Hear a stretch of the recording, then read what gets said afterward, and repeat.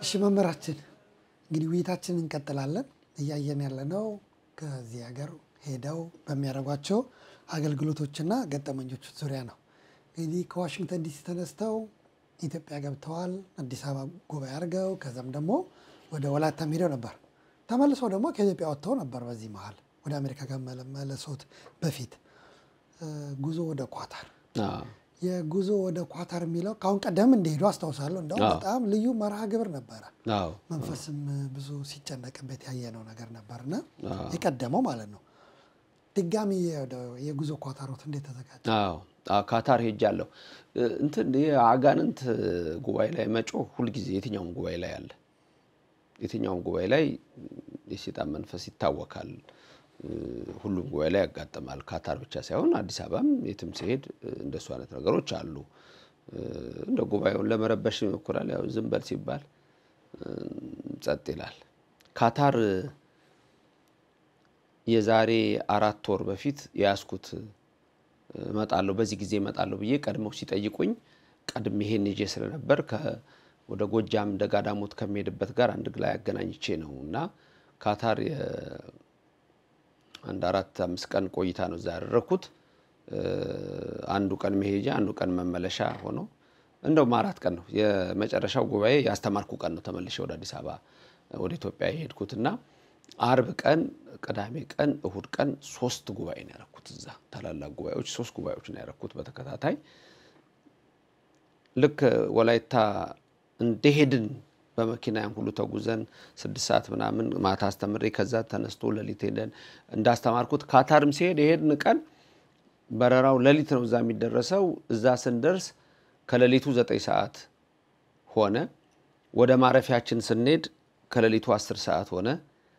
ከዛ ቅዳሴ ሊገባ ስለሆነ ከሁለት ሰዓት በኋላ ተመልሰን ያው ጳራቅሊጦስም እንትን ስለሆነ አርብም እንደዚሁ ስለ ተመልሰን ከሁለት ሰዓት በኋላ ወደ ቤተክርስቲያን ሄድን። ከዛን አንድ ሰዓት ምናምን አስተማርኩ። ከዛ ቅዳሜ ማታ፣ እሁድ ማታ ጉባኤ ያደረግን ካታር። እነዚህን ጉባኤዎች ነው ያደረግነው። እረፍት ብዙም ራሱ በቃ በማስተማሩ እግዚአብሔር ጉልበት ይሆናል። በጣም ከልጅነቴም ጀምሮ ያለኝ ነገር ያ ነው። አንዳንድ ጊዜ ጓደኞች ይገርማቸዋልና ራሴን እንኳ ትንሽ አመም አድርጎኝ ነገር ካለው ጉባኤ ሄጄ ሳስተምር ለቆኝ ነው መጣው። እኔ ከልጅነቴም ይሄ አለኝ እና ለአገልግሎት የሚደክም ጉልበትም የለኝም። ቅድም ልክ አዲስ አበባ ሰባት ቀን ሰባቱንም ቀን አስተምር እንደነበረ ሁለት ሁለት ፕሮግራም አንዳንዴ እሑድ እሑድና ቅዳሜ እንደውም ሶስት ሶስት ፕሮግራም ሁሉ ይሆናል። እዚህም ሀገር አሜሪካንም ሀገር መተን አገልግሎቱ ሰፊ ነው እና በቃ ያ ነው የኔ የአገልግሎት መስመር እና ካታር በጣም ጠንካሮች ምዕመናን አሉበት። በጣም ጠንካሮች ምዕመናን አሉበት። ስላሴ ነው ቤተክርስቲያኑ። አገልጋዮችም አሉ እኛ የሚያስተናግዱን በዛ ሰዓት እንግዲህ አለቃው አሉ አባ ገሪማ፣ ሊቀ ዲያቆን ጎርፎ አለ የስብከተ ወንጌልም ኃላፊ ነው። እንደገና እነ ሊቀ ትጉሃን ህሉፍ አሉ። በጣም ከጥንት ጀምሮ የማውቀው ነው ህሉፍ። እንደውም ሻሸመኔ ነበርና ሰማንያ ስምንት ዓመተ ምህረት መጨረሻ ላይ ሻሸመኔ አንድ ትምህርት ሳስተምር ነበር። የጥሪው ድምፅ የሚል ትምህርት ነበረኝ ድሮ እና እዛ ሻሸመኔ ሄጄ ትልቅ ጉባኤ ተደርጓል። በርካታ ጳጳሳት አሉ። የዛን ጊዜ እኔ ያስተማርኩት ትምህርት በዛ ነበር። የጥሪው ድምፅ የሚል የሳሙኤልን ታሪክ የሚያነሳ ነበር እና ሁል ጊዜ እሱን ያነሳልኛል ህሉፍ እና በቃ የዛን ጊዜ እኔ ሳሙኤል ሳሙኤል ሲባል ራሱ እግዚአብሔር አንተ ስትናገር እግዚአብሔር የተጣራ ነው የሚመስለኝ አይነት ነገር ብሎ ሁሉ ያነሳል እና እነሱ እነሱ በደንብ አስተናግደው ነው ወይዘሮ ሰብለ በጣም የሚያስተናግዱን ናቸው በካታር እና ሰፊ አገልግሎት ነው ያለው። በተለይ የማይደክማቸው በቃ ጠግበን የበላን የማይመስላቸው ጠጥተን የረካን የማይመስላቸው እኛን ለማስተናገድ በጣም የሚደክሙ ናቸው። እነዚህ አሁን የጠቀስኳቸው ሊቀ ዲያቆናት ጎርፉ እና በርካታ ምዕመናን አሉ። እግዚአብሔር ይስጣቸው። ብዙ አንዳንድ የንግድ ቤቶች ሄጄ ጸሎት አድርጌላቸዋለሁ። የታመሙ ሰዎች ያየኋቸው አሉ። በዛች በቀኑ አጋጣሚ ደግሞ ሲገኝ ማታ ማታ ደግሞ በጉባኤው በጣም ትልቅ ጉባኤ ነበረን እና ሰፊ አገልግሎት ነበረ የካታር እና በዛ ያሉትን ምዕመናን እግዚአብሔር ይስጣቸው። ከዚህ በፊት ቃል አስገብቻቸው ነበር ስመጣ አመት እመጣለሁና አንዳንድ ሺህ ብር እንድታስቀምጡ የዛሬ ዓመት ስመጣ ለቤተክርስቲያን ማሰሪያ ብያቸው ነበር። ቤተክርስቲያን ሊሰሩ አስበዋል። ኮቪድ ገባ እና በኮቪድ ያው ሰው ስለማይሰበሰብ አየር መንገዱም የሁሉም ሀገሮችም ስለተዘጋጋና ችግር ስለነበረ መሄድ አልቻልኩም። ስለዚህ አሁኑን ጉባኤ የያዝኩላቸው ከዛ የተነሳ ነው ለነሱ እና በጣም በርካታ ህዝብ ነው የሚሰበሰበው። በጣም በጣም የሚገርም ህዝብ ይሰበሰባል፣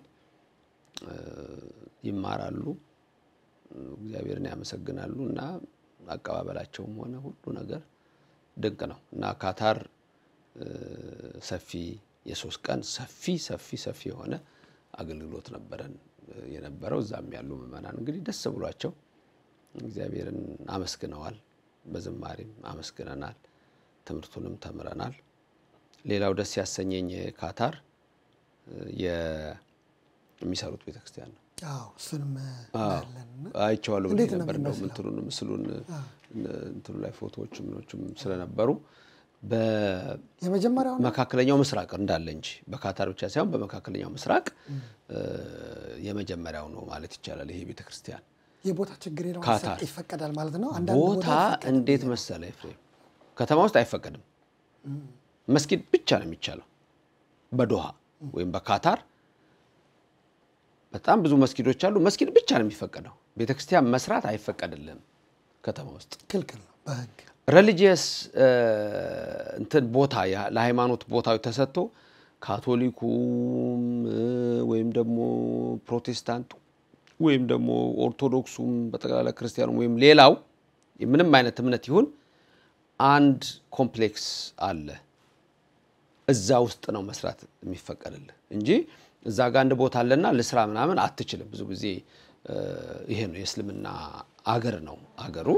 ስለዚህ በዛ ምክንያት መስጊዶች ናቸው መስራት የሚቻለው እንጂ ሌላ ቦታ ቤተክርስቲያን መስራት አይቻልም። ለብቻ ግን የሬሊጂየስ ቦታዎች ሰጥተው ለብቻ ተፈቅዶ እዛ ሄደው ይሰራል እና ይሄ እንግዲህ የመጀመሪያው ቤተክርስቲያን ነው። በመካከለኛው ምስራቅ የመጀመሪያው ቤተክርስቲያን ነው ስንል ለካታር ለስራ ነው እንጂ ኢትዮጵያውያን ገና በስድስተኛ early six century ስድስተኛ ክፍለ ዘመን ሰናአ ላይ የእመቤታችንን ቤተክርስቲያን በነ ንጉሥ ካሌብ በነ አብርሃም ጊዜ ሁሉ ተሰርቷል። ገና ያኔ ጥንት ጀምሮ ማለት ነው እና ታሪካዊ ነው።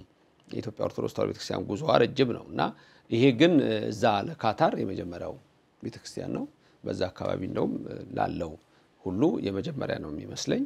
ጠንካራ ምዕመናን አሉ፣ እየተባበሩ ነው። ብዙዎቹ ብፁዕ አቡነ ዲሜጥሮስ ናቸው እዛ ጳጳሱ በጣም እያሰሩ ነው ያሉት በብዙ ቦታ ላይ እና እንደውም በአገልግሎት ሁሉ ደስተኛ ናቸው። ብዙ ጊዜ ነው የሚጋብዙኝ።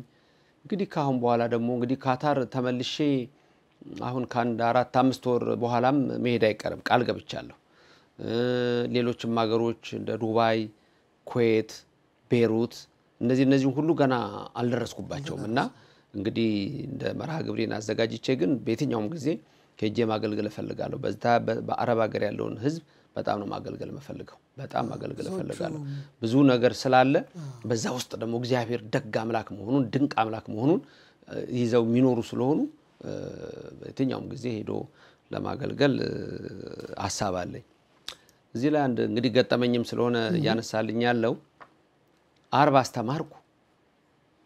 ቅዳሜም ትልቅ ጉባኤ ነበርን አስተማርን እና ከተበተንን በኋላ ወደ ቤት ስንሄድ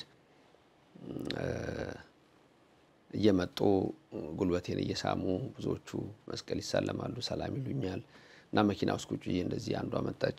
እንደዚህ ጉልበቴን ሳመችና እኔም አሳለምኳትና ነገስ ትመጫለሽ ወይ? ነገም እንግዲህ አለ እንግዲህ ነገስ ትመጪ የለም ኢሻላ ኢሻላ አለችኝ እና የልምድ የልምድ ጉዳይ ነው እና እሱን ስነግራቸው በጣም የሳቁት የካታር እና የልምድ ነው የአፍ ልማድ ነው እና አዎ ያው የእግዚአብሔር ፍቃድ ነው በሁሉም ነገር እና ጥሩ አገልግሎት ነበረ።